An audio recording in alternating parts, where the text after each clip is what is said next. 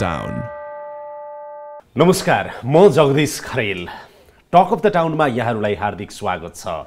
कोभिडको अर्को महामारीको लहर फेरि सुरु भइसकेको छ। त्यसैले सबैले सावधानी अप्नाउन जरुरी छ। आफूले आफ्नो व्यक्तिगत स्वास्थ्य सुरक्षा सावधानी अप्नाउनु होला र यो सँगै कोभिड पछाडि अर्को महत्त्वपूर्ण समस्या भनेको के देखिएको छ भन्दाखेरि मानसिक स्वास्थ्यको समस्या पनि विश्वभरि नै ठुला ठुला मुलुकहरूमा पनि देखिराखिएको छ र नेपालको सन्दर्भमा पनि कोभिडको महामारीका बिचमा अर्को एउटा विकराल समस्या बनेर मानसिक स्वास्थ्यको समस्या पनि विकराल रूप लिँदै गएको हो कि जस्तो भान भइरहेको छ। यो सन्दर्भमा आजको कार्यक्रम टक अफ द टाउनमा म विशेष गरेर कोभिडको महामारी र महामारीसँगै निम्तिन लागिरहेको र आइरहेको मेन्टल हेल्थको प्रब्लमको विषयमा पनि चर्चा गर्नेछु। आजको कार्यक्रम टक अफ द टाउनमा मेरो साथमा एपिडिमियोलोजी तथा रोग नियन्त्रण महाशाखाका प्रमुख डाक्टर कृष्ण पौडेल हुनुहुन्छ। स्वागत छ डाक्टर साहब तपाईँलाई। धन्यवाद नमस्कार। सन्चै हुनुहुन्छ? एकदम ठिक छ। कोभिडको महामारीसँगै नेपालमा पनि मानसिक स्वास्थ्य समस्या चाहिँ बढ्दै गइरहेको हो। के छ? अवस्था के छ? अब कोभिड हामीलाई ठुलो महामारी गत वर्ष हाम्रोमा तिन हजार जति चाहिँ कोभिडले गर्दा मृत्यु भयो होइन? तिन हजार नब्बेको हाराहारीमा छ आजका मितिसम्म। अब त्यही हाराहारीको मृत्यु चाहिँ हाम्रोमा आत्महत्या भइरहेको छ।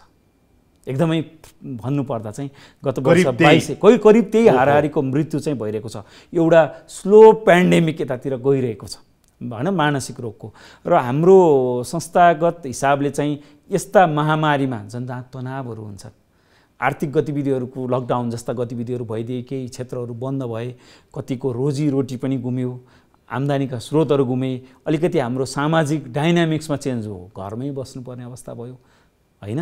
एक्लै पनि बस्नु पऱ्यो कतिजना क्वारेन्टाइन आइसोलेसन झनै मानसिक रोगहरू बढ्दो क्रममा हुने किनभने हामीले त्यो फेभरेबल वातावरण बनिदियो क्या त्यस्ता तपाईँ। यो भन्दै हुनुहुन्छ कि तिन हजार प्लस चाहिँ कोभिडका कारण मानिसको नेपालमा मृत्यु भयो भने करिब करिब झन्डै त्यसकै आसपासमा आत्महत्याका कारण। आत्महत्या बाइस सयको तथ्याङ्क छ छत्तर सतहत्तर त्यो त्यसमा सतहत्तर लागिसकेपछि पनि करिब करिब दुई हजार पुगिसकेका छ भनेको त त्यही हाराहारीमा आत्महत्याहरू भएका छन् जुन त्यति धेरैको प्राथमिकतामा परेका छैनन्। जसरी अहिले हामी अब कोभिड महामारीमा चाहिँ whole of the government whole of the society भन्छौँ। अहिले मैले यहाँलाई भने सरकारका सबै निकाय र समाजका सबै अङ्गको महत्त्वपूर्ण भूमिका छौँ भन्छौँ। त्यस्तै अर्को साइलेन्ट महामारी हाम्रो समाजमा गइरहेको छ। जसप्रति again whole of the government सरकारका सबै निकाय र त्यसपछि समाजका सबै अङ्गहरूले उति नै संवेदनशीलता सेन्सिटिभिटी त्यत्तिकै दिनुपर्ने त्यही अनुसारको तपाईँलाई यति धेरै कुरा थाहा रहेछ। के गर्नुभयो त तपाईँहरूले? जस्तो मानसिक स्वास्थ्यको सन्दर्भमा के गर्नुभयो भन्नुहोस् अब हामी चाहिँ यो दुई हजार पचहत्तरदेखि चाहिँ यो मानसिक रोग र नसर्ने रोग चाहिँ इपिडेमियोलोजी तथा रोग नियन्त्रण महाशाखा अन्तर्गत रहेको शाखाको रूपमा र एउटा शाखा छ तपाईँ एउटा शाखा। चाहिँ हाम्रो अन्तर्गत काम गरेको छ। हुन चाहिँ विगतदेखि नै यो ओकालत चाहिँ के भइरहेको छ भने मानसिक स्वास्थ्य हेर्ने छुट्टै महाशाखा नै चाहिन्छ भन्ने चाहिँ ओकालत भइरहेको हो। समहाउ एउटा सफलता मानौँ एउटा शाखाबाट काम चाहिँ सुरु भएको छ जसमा नसर्ने रोग र मानसिक रोग चाहिँ सँगसँगै हेरिन्छ त्यसका केही कार्यक्रमहरू पनि छन्। सबैभन्दा महत्त्वपूर्ण कार्यक्रम जनचेतनाको कार्यक्रम। अहिले करिब करिब देशैभरिका पाँच सयवटा जति एफएममा चाहिँ यस्ता यस्ता समस्याहरू मानसिक समस्या हुन सक्छन्। मानसिक समस्याहरूलाई पनि हेला नगरौँ डिस्क्रिमिनेसन जुन छ नि हाम्रो भेदभाव नगरौँ समयमै उपचारको दायरामा लैजाउँ कति उपचार कति काउन्सिलिङ कति औषधिहरूले यी रोगहरू ठिक हुन्छन् र बेलैमा गऱ्यौँ भने चाहिँ त्यो प्रोडक्टिभ छ नि उत्पादनशील चाहिँ शरीर चाहिँ जो मानसिक रोगको हिसाबले चाहिँ खेर गइरहेको छ त्यसलाई हामी मूलधारमा ल्याउन सक्छौँ भनेर अभियानहरूको रूपमा चाहिँ विभिन्न धातृराष्ट्र निजी क्षेत्रको सहयोगमा यी कार्यक्रमहरू चलिरहेका छन् नचलेका होइनन्। तर केही सीमितता पनि छ। यहाँले भनिहाल्नुभयो के होइन धेरै सीमितता छ। सबभन्दा पहिला त म तपाईँलाई म एउटा कुरा सोध्छु। एउटा कुरा के सोध्छु भनेदेखि अहिले अब सरकारको नीति तथा कार्यक्रम र बजेट आउँदैछ। हो। तपाईँले नै भनिसक्नु भयो कि कोभिडको महामारीको यो जोखिम त छँदैछ तर यसको साथमा चाहिँ अहिले विश्वभर नै मानसिक स्वास्थ्य समस्या चाहिँ नि निम्तिरहेको सन्दर्भमा अब मलाई बताइदिनुहोस् त नीति तथा कार्यक्रम अथवा बजेटको लागि तपाईँहरूले प्रस्ताव त गरिसक्नुभयो होला नि? कति प्राथमिकतामा राख्नु भएको छ मानसिक स्वास्थ्यलाई? हाम्रो हामीले चाहिँ इपिडेमियोलोजी तथा रोग नियन्त्रण महाशाखाले यहाँले एकदम राइटली भन्नुभएको जस्तै अहिलेको हामी चाहिँ सँगसँगै महामारी पनि जुधेको हामीले महामारी पनि हेर्नुपर्ने यो औलो कालाजार लगायतका चाहिँ इलिमिनेसन हुने रोगहरूलाई पनि हेर्नुपर्ने छ त्यसपछि सँगसँगै सर्भिलेन्स भन्छ विभिन्न रोग जस्तो हैजा झाडा पखाला निमोनिया जुन जस्ता रोगहरूको चाहिँ सँगसँगै चाहिँ हामीले निगरानी पनि राख्नुपर्नेछ। त्यसरी नै यो मेन्टल हेल्थ र नन कम्युनिकेबल डिजिजलाई हामीले प्राथमिकताका साथ कार्यक्रमहरू राखेका छौँ। यसमा चाहिँ अब मेन्टल हेल्थको लागि तपाईँहरूले के राख्नु भएको छ सबैभन्दा- पूर्वभन्दा कार्यक्रम के नयाँ आउँदैछ। बजेट कति बढी आउँदैछ? के रियलाइज गर्नु भएको रहेछ कि रहेछ त अहिले थाहा हुन्छ एकदम एकदम म एकदम उसमा जान्छु। हालसम्म यो गत दुई वर्ष अलिकति यो कार्यक्रम राम्ररी जान सकेन। विशेष गरी समुदायमा मानसिक स्वास्थ्य सम्बन्धी चेतना स्वास्थ्य कर्मीहरूमा चेतना अभिवृद्धि गर्ने कार्यक्रम चौवालिस जिल्लामा मात्रै पुगेको रहेछ। योपालि हामी सतहत्तर जिल्लामै पुर्याउन चाहन्छौँ पहिलो कुरा। त्यो भइदियो भने कमसेकम कार्यक्रम स्वास्थ्य जिल्लामै तालिमदेखि लिएर। पुग्यो भने चाहिँ के हुन्छ भने स्थानीय लेभलमै गाउँमै स्वास्थ्य कर्मीले बेलैमा डायग्नोसिस निदान गर्न सक्छन्। एउटा तालिम मैले बुझेँ। त्यो कुराहरू बुझेँ कि। जस्तो एउटा तालिमको कुरा भयो अरू। अर्को जनचेतना अभिवृद्धिको कुरा। त्यो चाहिँ हामी समाजमै जानुपर्नेछ। समाजमा किन जानुपर्नेछ भने समाजका प्रत्येक अघि भने नि समाजका सबै अङ्गको उत्तिकै भूमिका छ। मेरो समाजमा मेरो गाउँटोलमा मानसिक रोगी सम्भावित यस्ता यस्ता लक्षण छ भने उसलाई बेलैमा उपचार गर्यो भने ठिक पार्न सकिन्छ। न कि उसलाई गर्नु हुँदैन अगाडिको अन्तर्वार्तामा एउटा इन्टरेक्सनमा तपाईँकै शाखाको प्रमुख डाक्टर फणिन्द्र बरालले मसँग भन्दै हुनुहुन्थ्यो कि पाँच गुणा बढी बजेट बढाउँदैछौँ यसपालि हामी भनेर हो। अब कति बढ्दैछ? हामीले चाहिँ बजेट उहाँले नै उहाँले नै पेस गरे अनुसार राखेका छौँ र तपाईँलाई एकदम राम्ररी भन्दा हाम्रो इपिडेमियोलोजी तथा डिजिज कन्ट्रोललाई दिएको सिलिङ छ नि। अब त्यो यहाँलाई फ्रेङ्कली भन्नुपर्छ छैसठी करोडको थियो। हाम्रो चाहिँ सबै कार्यक्रमले चाहिँ त्यो सयभन्दा बढी गइसक्यो होइन? त्यो हिसाबले चाहिँ हाम्रो चाहिँ बजेटमा केही पक्कै पनि कटौती त हुन्छ होला। स्वास्थ्य मन्त्रालयमा हामीले एक लेभलको एउटा चरणको डिफेन्स भन्छ बजेट तयारीपछि। त्यो डिफेन्स पास गरिसकेको अवस्था छ। अब हामी अर्थ मन्त्रालयमा जाने क्रममा छ। यो जस्ता कार्यक्रमले जुन यो एडभोकेसी छ नि ओकालत हो नि यो पनि यो तहले पक्कै पनि मलाई अर्थमा डिफेन्सको लागि हेल्प गर्छ। यी कार्यक्रमहरूलाई प्राथमिकताका साथ बजेट काट्नुहुन्न भनेर। तर हामी फेरि सँगसँगै यो पनि भुल्दैनौँ कि हामी देश देशको अर्थतन्त्र अर्को अर्थ स्वास्थ्य मन्त्रालयका अब योजना महाशाखा प्रमुख हुनुहुन्छ डाक्टर गुणराज लोहनी उहाँसँग कुरा गर्दाखेरि हामी त अब स्वास्थ्य मन्त्रालयकै पनि अब पुनर्संरचना जस्तो गर्दैछौँ। एउटा प्राधिकरण जस्तो अर्को भन्ने कुराहरू। सिडिसी आउँदा हामीले यो मेन्टल हेल्थलाई चाहिँ महाशाखाकै हिसाबले चाहिँ कन्सेप्चुअलाइज गरेको हो। सिडिसी पनि पास भइसकेको छैन। क्रममै छ। सिडिसी कहाँ छ अहिले? अहिले सिडिसी चाहिँ मन्त्रालयमा छ क्याबिनेटमा छ राष्ट्रपतिको नीति तथा मैले? बुझेको अनुसार चाहिँ स्वास्थ्य तथा जनसङ्ख्या मन्त्रालयबाट यो चाहिँ प्रक्रिया अगाडि बढ्ने हिसाबले छलफलको क्रममा अन्य मन्त्रालयको रायको क्रममा छ भन्ने बुझेको छु र राष्ट्रपतिको नीति। तथा कार्यक्रममा गत वर्षै आएको कुरा सिडिसी त गत वर्षै आइसकेका कुरा हो। यसपाला पनि राष्ट्रपतिले बोल्दा दोहोऱ्याउनु हुन्छ कि आशा गरौँ सम्माननीय राष्ट्रपतिज्यूले पढ्ने बेलासम्म यो चाहिँ पास भएरै आउँछ भन्ने हाम्रो अपेक्षा हो। हाम्रो लबिङ पनि त्यसको जारी छ। किनभने भनेको तपाईँ यो भन्दै हुनुहुन्छ राष्ट्रपति विद्यादेवी भण्डारीले अब आगामी आर्थिक वर्षको नीति तथा कार्यक्रम वाचन गरिराख्दा अर्थमन्त्रीले जेठको पन्ध्र गते बजेट ल्याइराख्दा हाम्रो नेपालमा सिडिसी हाम्रो चाहना हाम्रो चाहना चाहिँ सिडिसी बनेर मेन्टल हेल्थले पनि छुट्टै महाशाखा लगायत हाम्रो जुन अरू प्राथमिक गर्नुपर्ने प्राथमिकता दिनुपर्ने अन्य पनि डिजिजहरू छन् रोगहरू छन् निगरानी गर्नुपर्ने जो निवारण हुनै लागेका कालाजार यो हात्तीपाइले लगायतका रोगहरूको लागि पनि हामीलाई सिडिसी अन्तर्गत नै काम गर्नुपर्ने। सिडिसी भनेको फेरि सजिलो शब्द सेन्टर फर डिजिज कन्ट्रोल एकदम। होइन? त्यो रोग। नियन्त्रण केन्द्र। रोग नियन्त्रण केन्द्र। केन्द्र होइन त? नेपालको। त्यो बन्ने छ। त्यो बन्ने छ। त्यो बन्नलाई स्वास्थ्य मन्त्रालयले अन्य मन्त्रालयसँग परामर्शको चरणमा भएको मैले बुझेको छु। आशा गरौँ यही आर्थिक वर्षभित्र हामी त आर्थिक वर्ष भन्नु पऱ्यो दुई हजार सतहत्तर त गइहाल्यो अठहत्तरका केही महिना बाँकी छन्। यो भित्रमा यो लागू हुन्छ भनेर एउटा अपेक्षा गरौँ। अब यही आर्थिक वर्षमा तपाईँ भन्दै हुनुहुन्छ सिडिसी बन्ने छ। बन्ने मेरो अपेक्षा छ किनभने मैले तपाईँभित्र मात्रै रहेन तर। अहिलेको भइरहेको प्रगति हेर्दा बन्ने छ र त्यो अन्तर्गत चाहिँ मेन्टल हेल्थको महाशाखा बनाउने हो, सोचमा तपाईँहरू हुनुहुन्छ भनेको स्वास्थ्य मन्त्रालय छौँ। अब त्यो रह्यो महाशाखा कस्तो त्यो भित्र चाहिँ त्यो भित्रका त्यो भित्र चाहिँ कस्तो स्ट्रक्चरहरू हुनु- हुन्छ हुनसक्छ हुनुपर्छ भने चाहिँ त्यसको अहिले अवधारणामा के छ भने फङ्सनल हुन्छ हुँदैन। फङ्सनल हुनु पर्यो। अधिकार हुन्छ हो, हुँदैन। स्रोत साधन जनशक्ति। हुन्छ हुँदैन। एकदमै। मुख्य कुरा त्यो मुख्य कुरा त्यही नै हो। त्यसमा चाहिँ त्यो महाशाखालाई कन्ट्रोल गर्ने अब त्यसमा हाम्रो निर्देशक भन्ने पद राखौँला प्रमुख राखौँला त्यसपछि त्यो भित्र विभिन्न तालिम क्षमता अभिवृद्धि गर्ने एउटा शाखा हुनु पर्यो जसले चाहिँ यो पार्टहरू हेरोस् अथवा अहिलेको हाम्रो राष्ट्रिय स्वास्थ्य तालिम केन्द्रमा करिकुलमहरू बनाएर चाहिँ अपडेट गरेर चाहिँ मानसिक स्वास्थ्य सम्बन्धी आवश्यक जनशक्तिको विकासका लागि योगदान दियोस्। यसमा चाहिँ यसले चाहिँ कहाँसम्म नेतृत्व गर्नुपर्नेछ भने एकदमै तौटकारो आवश्यकता करिब करिब दुई सयजना त साइकियाट्रिस्ट हुनुहुन्छ भने अहिले मनोरोग विशेषज्ञहरू। हाम्रो साइकोलोजिस्टहरू हुनुहुन्छ परामर्शदाता। हाम्रो त्रिभुवन विश्वविद्यालयमा पढाइ हुन्छ। म त्यहीँबाट पढेको चिकित्सा शिक्षा अध्ययन संस्थानमा। एकदम कम मान्छे वर्षको एकजना क्लिनिकल साइकोलोजिस्ट दुईजना निस्कनुहुन्छ। जो अत्यन्त कम हो उहाँहरू चाहिँ ठुला सहरमै सीमित हुनुहुन्छ काठमाडौँमा त सीमित हुनुहुन्छ।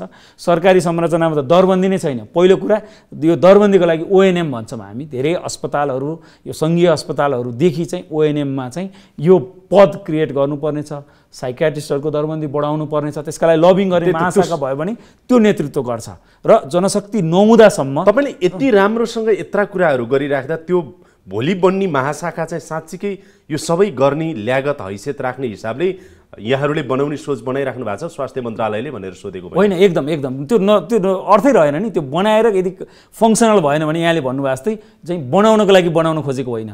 काम गर्नलाई बनाउन खोजेको र त्यसभित्र चाहिँ काम गर्नुपर्ने अघि मैले भन्दै थिएँ। अहिले सरसर्ती हेर्दाखेरि चाहिँ सेन्टर फर डिजिज कन्ट्रोल रोग नियन्त्रण केन्द्र चाहिँ अब बनिसकेको अवस्थामा चाहिँ मेन्टल हेल्थको चाहिँ महाशाखा बन्न समय लाग्दैन। त्यसमा समय लाग्दैन र मेन्टल नीति तथा कार्यक्रम र बजेटमा पनि यो कुरा सम्बोधन भएर आउँछ। भइसकेको हुनाले चाहिँ योपालि यो रिफ्लेक्ट भएर आउँछ कि आउँदै छैन नीति तथा जस्तो उदाहरणको लागि हामीले बनाउनेमा चाहिँ अहिले हामीले चाहिँ अहिले जुन शाखाको कार्यक्रम छ त्यही नै राखौँ किनभने त्यो पास भएर आएको छैन। यो त बुझ्नु पर्यो। भोलि महाशाखा हो भोलि महाशाखा बन्यो भने अहिले शाखाका गतिविधिहरू सहित ओएनएम सहित हुन्छ। तपाईँलाई यति धेरै कुराहरू थाहा छ सर। तपाईँको शाखामा फणिन्द्र बरालको अन्तर्गत कति कर्मचारी छन् र के रिसोर्सेस छ एक्ज्याक्टली होइन रिसोर्स चाहिँ हामीसँग अहिले जे छ नि यतिले पुग्छ? करोड जनसङ्ख्या भएको देशमा? पुग्दैन आवाज धेरै? धेरै इन्भेस्टमेन्ट अब यहाँले एकदम राम्ररी भन्नुभयो खोइ आवाज ठिक छ। उठाएको? त्यसमा मेरो पनि जिम्मेवारी छ तर म एकदम त्यहाँ गएको दुई महिना मात्रै भएको तिन महिना। मेरो मेरो तपाईँ त डक्टर हो नि? हो एकदमै होइन तपाईँ चाहिँ नि डक्टर हो मलाई अचम्म लागेको कुरा त त्रिपन्न सालमा बनेको रहेछ मानसिक के स्वास्थ्य नीति भनेर। नीति हो। होइन? त्यसैले महाशाखा बनाउनुपर्छ भनेर रहेछ। आज छयत्तर साल हेर्नुहोस् तेइस चौबिस पच्चिस वर्षपछि पनि एउटा संरचना हामीले बनाउन सकेनछौँ। एकदम एकदम एकदम। यसमा म अर्को पनि टच गरौँ। यहाँले उठाउनु भएको? गम्भीर विषय हो। तर हुन चाहिँ सरकारका प्राथमिकता अरू होइनन् नभनौँ तर यो क्षेत्र चाहिँ छायामा परेको चाहिँ यथार्थ हो र अब मैले डक्टर मोहन। श्रेष्ठलाई यहाँ बोलाएको थिएँ कि? लगनखेल मानसिक अस्पतालको चाहिँ नि डाइरेक्टरलाई। हजुर हजुर। अचम्म लाग्यो। हो। यत्रो चाहिँ नि तपाईँको चाहिँ त्यत्रो पचास साठी वर्षको इतिहास बोकेको अस्पताल अहिले पनि हामीले चाहिँ दुर्दशा त्यो यो- यो हामी चाहिँ कहाँबाट सुरु गर्नुपर्छ भने यो चाहिँ सुरुदेखि नै जुन यो मिलेनियम डेभलपमेन्ट गोल हुने बेलामा मेन्टल हेल्थतिर धेरै विशेष गरी हाम्रो प्राथमिकता के भयो भने बाल स्वास्थ्य मातृ स्वास्थ्य। सबैभन्दा ठुलो फन्डिङ देश विदेशको सहयोग यो युएन सिस्टमको सहयोग डब्लुएचओ युनिसेफ सबै एकातिर मात्रै लाग्यौँ। हाम्रो एकरो भिजन भयो त्यसमा हामीले हासिल गऱ्यौँ राम्रै इन्डिकेटर हासिल गऱ्यौँ मातृ मृत्युदर घटायौँ बालबालिकाको खोपमा राम्रो गऱ्यौँ त्यसपछि बचाउन मिल्ने मृत्युहरूबाट बचायौँ ती कामहरू भए तर प्राथमिकता त्यता बढी परे यसलाई कम ध्यान दियो। यो कम आकलन गर्न खोजेको होइन। अब बचाउन मिल्ने मृत्युहरू बचाइसकेपछि अथवा घटाइसकेपछि अब बचा जुन बच जुन छ नि प्रिभेन्टेबल डेथ्स एउटा लेभलको गयो। अब मानसिक स्वास्थ्य सम्बन्धी पनि छायामा परे पनि अब ढिला भइसकेको छ। अस्ट्रेलियाले जापानले चाइनाले उहाँहरूले चाहिँ नि मानसिक स्वास्थ्य मेन्टल हेल्थ चाहिँ अब यो कोभिड पछि त झनै संवेदनशील छ भनेर प्राथमिकतामा राखिरहेको देख्छु म। होइन? र समाचारमै सुनिन्छ मैले अघि पनि तपाईँलाई सेयर गरेँ अस्ट्रेलियामा त पाँचजनामा एकजनालाई चाहिँ एकदमै। अहिले मेन्टल हेल्थ प्रब्लम भइरहेछ अरे। उच्च छ त। अहिले कोभिड चाहिँ खोइ त हाम्रो। ध्यान भनेको कि? हामीले अहिलेका कार्यक्रममा पनि केही नगरेका त छैनौँ। किनभने सचेतनाको कार्यक्रमहरू सँगै गरेका छौँ र विशेष गरी हटलाइन टाइपको तपाईँले सेवाहरू भनेको दिइरहेका छौँ सचेतनाको कार्यक्रम त हेर्नुहोस् त्यो चाहिँ नि त्यो एक थोपा पानी हालेको जति पनि छैन त्यो मरुभूमिमा त्यसको गर्नुपर्ने धेरै छ, यसरी बुझौँ। अब तपाईँले जे। भन्नुभयो त्यो साह्रै फितलो र कमजोर तर्क हो त्यो अब रेडियोहरूमा अलिअलि हामीले चाहिँ सूचना दिएको छौँ गरेका छौँ, भन्नुभयो। दुई चारजना मेडिकल अफिसरहरूलाई ट्रेनिङ दिनुभयो होला दुई चारवटा जिल्लामा गर्नुभयो होला त्यो आफ्नो ठाउँमा छ। 44 छ- जिल्लामा, दुई चार होइन, 44 जिल्लासम्म त तर तर हेर्नुहोस् न सामाजिक कलङ्कको रूपमा रहेको त्यो स्टिगमा जुन छ नि त्यो मेटाउनै सकेन। एक्ज्याक्टली त्यो मेटाउनलाई अघि पनि भने मैले प्रयास त एडभोकेसी नै हो नि जनचेतना। एडभोकेसी एडभोकेसी तपाईँ भन्नुहुन्छ दुईटा विज्ञापन दिएर चाहिँ अथवा पिएसए बजाएर त्यसरी त हुँदैन होइन। समाजकै लेभलमा वडा स्तरमा टोल टोलमा त्यहाँका नागरिक नागरिक समाज त्यहाँ रहेका समूहहरूलाई चाहिँ मानसिक रोगको बारे जानकारी गराउनु पर्ने छ। हाम्रो त गर्नु हुँदैन भने- भन्नु पर्ने कस्तो हुँदो रहेछ भने अब मलाई अलिकति करेक्सन गर्नु होला तपाईँले। हामी त पढेका नपढेका गाउँका सहरका होइन? जानेका नजानेका महिला पुरुष बाल जोसुकै हौँ हाम्रोमा के रहेछ भन्दाखेरि त्यो बन्द ढोकाभित्र चाहिँ नि मानसिक स्वास्थ्यलाई राख्ने समस्यालाई पनि राख्ने। मलाई भयो भने तपाईँलाई भयो भने नि सकभर बाहिर ननिकाल्ने एक्ज्याक्टली किनभने डिस्क्रिमिनेसन छ। हिजो सोसियल ट्रान्सफर्मेसन सजिलो रहेनछ कि? एकदमै हो। यहाँले एकदम राइट पोइन्ट उठाइदिनु भयो। म कहाँ जोडौँ भने अहिले हाम त्यो इपिडेमियोलोजीले हाम्रो इडिसिडीले हेर्नेमा चाहिँ कुष्ठरोग पनि पर्छ क्या। हिजो कुष्ठरोगीहरू जसरी लुक्थे थियो नि त अवस्था। अहिले पनि खुलेआम कुष्ठरोगीले म कुष्ठरोगी भनेर जाने अवस्था अझै भइसकेका छैन। त्यस्तै अवस्था छ यहाँले राइटली भन्नुभएको जस्तै र एकदम राम्रो पोइन्ट टच गरिदिनु भयो। यहाँको यो प्रयास एकदम सराहनीय छ यो चाहिँ आई ओपनर भन्छु म धेरैले यो जसले यो अन्तर्वार्ता हेर्नुहुन्छ उहाँहरूलाई पनि आई ओपनर नै हुन्छ होला।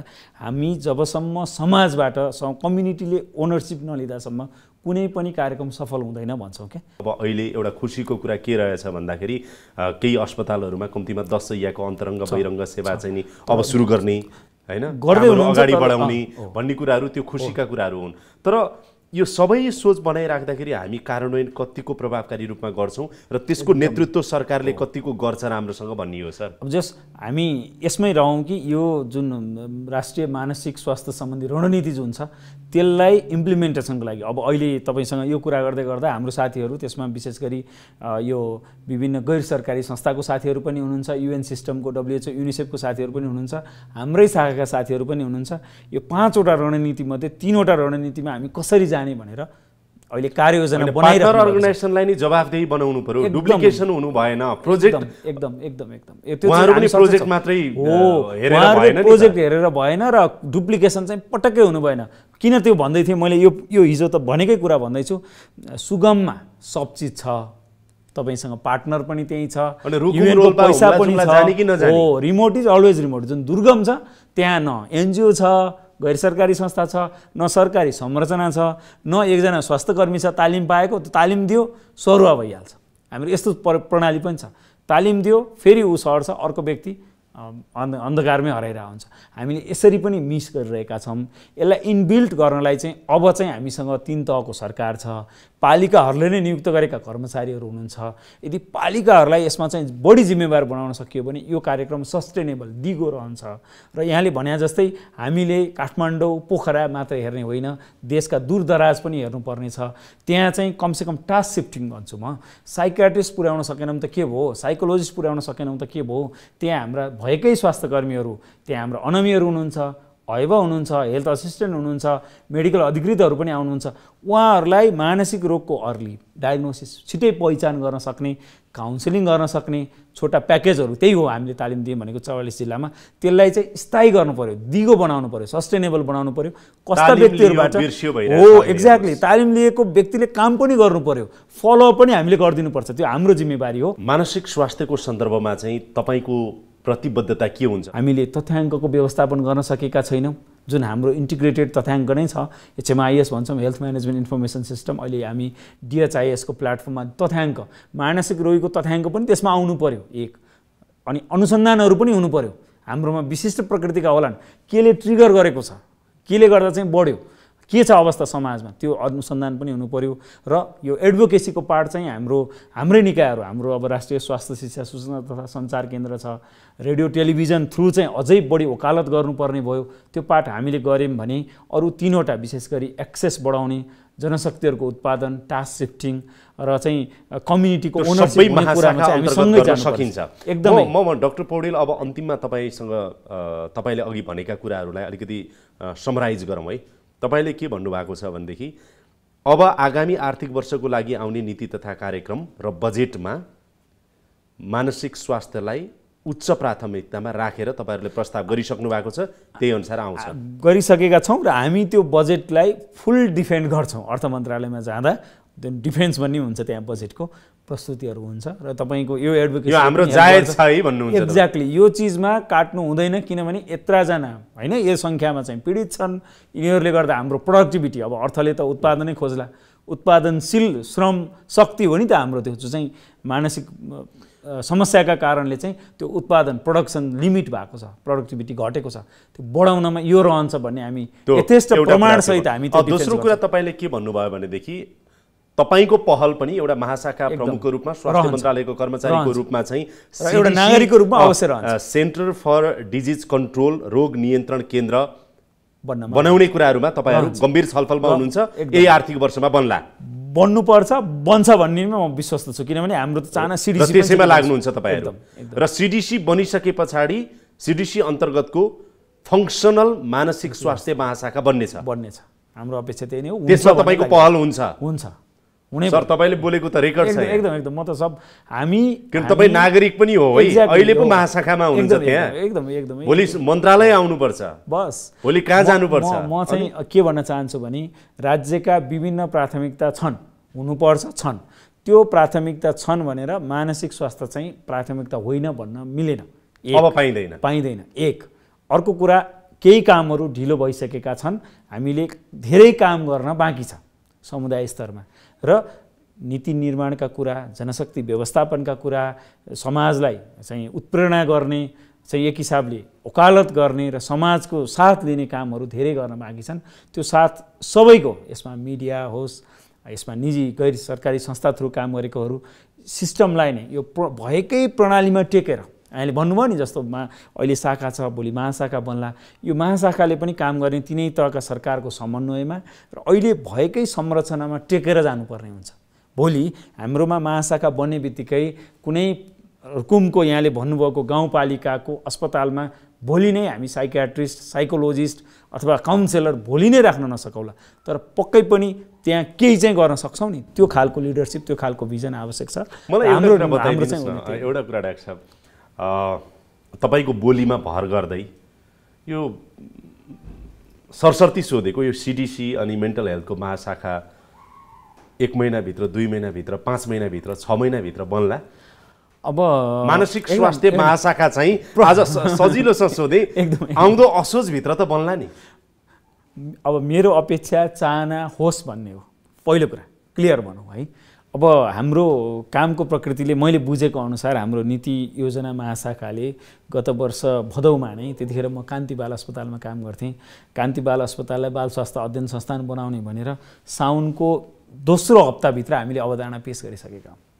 यहाँलाई साँचो कुरा मैले सेयर गर्नुपर्छ। धेरैले सुन्नु पनि भएको छ होला। किनभने त्यो वर्ष यहाँले भन्नु जस्तै सम्माननीय राष्ट्रपतिज्यूको वक्तव्यमा नि आएको थियो नीति तथा कार्यक्रममा बजेटमा पनि आएको थियो। र चाहिँ नीति तथा योजनाले चाहिँ यो पालि चाहिँ हामी सबै काम समयमै गर्छौँ भन्न त्यतिखेरै तयार गरेको थियो। र मलाई के पनि थाहा छ भने यी धेरै कुराहरू त्यो महाशाखाले चाहिँ समयमै असोजभित्रै सकेको थियो। भलै हामी त्यतिखेर कोभिडसँग नि जुट्दै थियौँ होइन? अरू पनि कम् कम्पेलिङ मेन्टल हेल्थको चाहिँ यो महाशाखा बन्छ भन्ने विश्वास गरौँ। त्यतिखेरदेखि पेस भएको हाम्रो मन्त्रालयबाट क्याबिनेट हुँदै अन्य मन्त्रालयमा रायमा गएको भन्ने मैले बुझेको छु। त्यसमा कानुन होला अर्थ होला सामान्य प्रशासन होला किनभने भने कामै गर्दा त पन्ध्र दिनमा सकेला एक महिनामा त्यो टाइम लाग्छ। त्यही भएर मैले यहाँ चाहिँ मिडिया मार्फत ल तपाईँले भने जस्तै प्रश्नको हिसाबले एकदमै राम्रो हो। व्यवहारिक हिसाबले असोजभित्र बनोस् भन्ने चाहना पनि हो तर म अहिले नै कमिट चाहिँ गर्न सकिने असोजमा बनाउँछु किन मेरो हातमा छैन तपाईँले। बनाउने होइन तर तपाईँले सरसर्ती हेर्दाखेरि चाहिँ बन्न सक्ने एकदमै ठाउँ छ ठाउँ त एकदम स्पष्ट नै छ किनभने यो वर्षभित्र नै सिडिसी बनिदियो भने हामीलाई केही काम गर्न सजिलो हुन्थ्यो कि हामीले स्वास्थ्यले नेतृत्व दिएर गर्नुपर्ने निर्णय लिनुपर्ने महामारी जन्य होस् अथवा अन्य यही। रूपमा काम अगाडि बढ्यो भनेदेखि आगामी असोजभित्र चाहिँ महाशाखा बन्ने ठाउँहरू छन् छन् एकदम बनाउन सकिन्छ। हामी के बुझौँ भने असम्भव भन्ने त कुरा नै छैन यो संसारमा असम्भव त बनाइएको हो नि। असम्भव भन्ने कुराहरू एकदम कम छन्। असम्भव छैनन् नै भनेर बुझौँ नथिङ इज इम्पोसिबल यो त असम्भव सम्भव भन्दा स्वाभाविकै हो। मैले चाहिँ त्यसलाई सम्भव किन मानेको भने यदि सबै क्षेत्रले चाहिँ यो गम्भीरता बुझिदिनु भयो भने ढिलो छैन। यति चाहिँ भन्न सक्छु। ढिलो छैन भनेको तिन महिना छ महिनाभित्र भनेको सक्छ। तिन छ महिनाभित्र हुनु न नपर्ने हुन नसक्ने कुरा चाहिँ छैन भन्न खोजेको हामी मेन्टल हेल्थको सन्दर्भमा चाहिँ नि दक्षिण एसियामा अरू देशसँग त तुलना नगरौँ। कहिले हामी अब्बल भइएला? यी देशहरू हामीभन्दा अगाडि भए पनि हामी त्यति नराम्रोमा पनि छैनौँ ठिक हो। तर यहाँले भन्नुभएको कमसेकम हामी पहिला एसियाली मापदण्ड जस्तो भन्थ्यौँ। कमसेकम दक्षिण पूर्वी एसिया हामी सेरोको कन्ट्रीहरूको धेरै कुरा सँगै हुन्छ विश्व स्वास्थ्य सङ्गठनको यो रिजनल अफिस चाहिँ दिल्लीमा छ। सेरोको त्यो ग्रुपभित्र चाहिँ राम्रो गर्नलाई यही अहिलेकै इन्भेस्टमेन्टमा अलिकति हामीले बढी फोकसहरू गरेर र कम्युनिटी लेभलको इन्टरभेन्सनलाई र टास्क टिमलाई अगाडि बढाउन सक्यौँ भने छिट्टै हासिल गर्न सक्छौँ। त्यो भनेको लामो भनेको अबको दुई तिन वर्षमा धेरै गर्न सकिने ठाउँ छ। चौवालिस जिल्लाबाट सतहत्तरजना धेरै गाह्रो नहोला। गत वर्ष गत करिब करिब डेढ दुई वर्ष हामीलाई धेरै नियमित कार्यक्रम पनि हुन पाएनन्। त्यसमा महामारीको पनि असर छ। एउटा महाशाखा प्रमुखको रूपमा चाहिँ जस्तो मानसिक स्वास्थ्यलाई प्रवर्धन गर्ने सन्दर्भमा र यसको समस्या समाधान गर्ने सन्दर्भमा हामी यसरी अगाडि बढ्दैछौँ। हामीलाई यो यो सपोर्ट पनि होस् है यसरी भन्नु पऱ्यो भने के भन्नुहुन्छ? अब अहिले चाहिँ हामीलाई सबैभन्दा ठुलो यहाँले एकदम राम्ररी भन् भन्नुभयो जस्तै हामीलाई सहयोगको हिसाबले चाहिने सहयोग भनेको क्यापासिटी डेभलपमेन्टमै हो जनशक्ति विकासमै हो जनशक्ति देशभित्र उपलब्ध भयो देशको बजारमा उपलब्ध भयो भने त त्यो निजी क्षेत्रले पनि सरकारी क्षेत्रले पनि कन्ज्युम गर्छ। हाम्रो दरबन्दी र वार्डहरू बढाउनु पर्ने सँगसँगै अस्पतालहरूमा फङ्सनल बनाउनु पर्नेछ। मैले थाहा पाउँदा मानसिक स्वास्थ्य विभाग रहेका साइकाट्रिस्ट भएका कतिपय अस्पतालहरूमा पनि फङ्सनल वार्डहरू छैनन्। त्यो एउटा टिप अफ आइसबर्ग हो अस्पताल जाने भनेको एउटा कम समूह मात्रै हो। धेरै समूह चाहिँ समुदायमै छन्। समुदायमै डायग्नोसिस हुने सबै स्वास्थ्य संस्थामा डायग्नोसिस र ट्रिटमेन्ट होइन? उपचार हुन सक्ने व्यवस्था हामीले नगर्दासम्म चाहिँ गाह्रो छ। र यसमा चाहिँ हामीलाई सबै क्षेत्रको दात्री राष्ट्रहरूको पनि उत्तिकै सहयोग आवश्यक छ। समाजमा कार्यरत गैर सरकारी संस्थाहरूको पनि आवश्यक छ। र मेरो अनुरोध चाहिँ उहाँहरूलाई छ विशेष गरी सरकार नपुग्न सकेका ठाउँमा पनि उहाँहरूको योगदान होस् भन्ने अनुरोध पनि छ। यहाँले अघि भन्नुभयो जस्तै त्यो छ त्यो एउटा हाम्रो धेरै चिजहरू चाहिँ रिमोट इज अलवेज रिमोट भन्ने चाहिँ एकदम मलाई मन परेको कोट छ। कतिपय कुरा चाहिँ दुर्गममा चाहिँ दुर्गम नै रहन्छ होइन? सुगममा सब चिज छ कहीँ छ्याल्ल ब्याल्ल छ कहीँ नप अपुग छ। यस्तो अवस्था चाहिँ नहोस् भन्नेमा पनि यो रिसोर्सको अप्रोप्रिएट डिस्ट्रिब्युसनमा पनि कार्यक्रमहरू बनाउँदा अगाडि बढ्दा चाहिँ त्यत्तिकै आवश्यकता छ। अर्को बाल स्वास्थ्यको क्षेत्रमा बा चाइल्ड मेन्टल हेल्थ मैले अघि भन्दै थिएँ बालबालिकाका पनि हिजो पचाउन मिल्ने रोगहरूले मृत्यु हुन्थे। प्राथमिकता त्यही हुन्थ्यो। बुवा आमाको समाजको हामी झाडा पखाला निमोनियासँगै लड्दै थियौँ जसका कारण हाम्रो बालबालिकाको मृत्यु हुन्थ्यो। अब बालबालिका त्यहाँबाट माथि उठिसकेका छन् र अब किशोर किशोरी उमेरसम्म धेरै मानसिक समस्याहरू छन्। जुन अनडिटेक्टेड छन् जसले गर्दा यो भविष्यका कर्णधारहरूको वृद्धि विकास हुन सकेको छैन। त्यो सेक्टर स्याडोमा छ छायामा छ। यो भित्र पनि स्याडो छ। त्यसलाई पनि ध्यान दिनुपर्नेछ। देशभित्र यथेष्ट जनशक्तिहरू हुनुहुन्न। जम्मा दुईजना चाइल्ड साइकियाट्रिस्ट हुनुहुन्छ दुई सयजनाभित्र। हामीले त्यो जनशक्ति बढाउनु पर्नेछ र हामी त्यो कान्ति बाल अस्पतालमा चाहिँ त्यो चाहेका छौँ र एउटा छुट्टै विभागको रूपमा लैजान खोजिरहेका छौँ। केही कामहरू पनि भएको छ र एउटा मात्रै त्यहाँको उसले चाहिँ बालबालिकालाई भर्ना गरेर उपचार दिने सुरु गरेको छ। यसलाई अझै सशक्त बनाएर देशका लागि चाहिने जनशक्ति पनि विकास गर्नुपर्नेछ र देशभित्रका विशेष गरी यो एकाडेमिक इन्स्टिच्युटहरू युनिभर्सिटीहरू मेडिकल कलेजहरूले चाहिँ साइकोलोजिस्ट साइकियाट्रिस्ट क्लिनिकल साइकोलोजिस्ट आवश्यक छ हामीलाई होइन? जुन चाहिँ बिरामीलाई नै डिल गर्न सकोस्। र काउन्सिलरहरू हामीले धेरै गर्नु सक्छ किनभने धेरै रोगहरू काउन्सिलिङले होइन? मिठो कुराकानी गरेर उहाँहरूका भित्रका समस्याहरूलाई उजागर गरेर उपचार गर्न सकिन्छ मानसिक रोगको हकमा। र समाजले पनि के ध्यान दिनुपर्ने छ भने जुन अहिले हामी विभेद अथवा चाहिँ डिस्क्रिमिनेसन गरेर चाहिँ यसलाई पछि पारेको छौँ। हामी सबैले म अब पालिकाका सरकारहरू अब हामी तिन तहको सरकार छ प्रदेशका सरकारहरू विशेष गरी सुदूरपश्चिममा त धेरै काम गरिराख्नु भएको छ यो विषयमा पनि। त्यो स्वास्थ्य कर्मीहरूलाई चाहिँ एकदमै मोटिभेट गरेर मेन्टल हेल्थको एरिया एरियामा राम्रो काम गर्नुभएको छ। सबै प्रदेशले पनि त्यसरी लिडरसिप लिने र पालिकाहरूले पनि आफ्नो पालिकामा जोखिमयुक्त क्षेत्र व्यक्ति समुदाय पहिचान गरेर चाहिँ ध्यान दिनुपर्ने देख्छु। डाक्टर साहब समय दिनुभयो। धेरै धेरै धन्यवाद नमस्कार नमस्कार। Thank you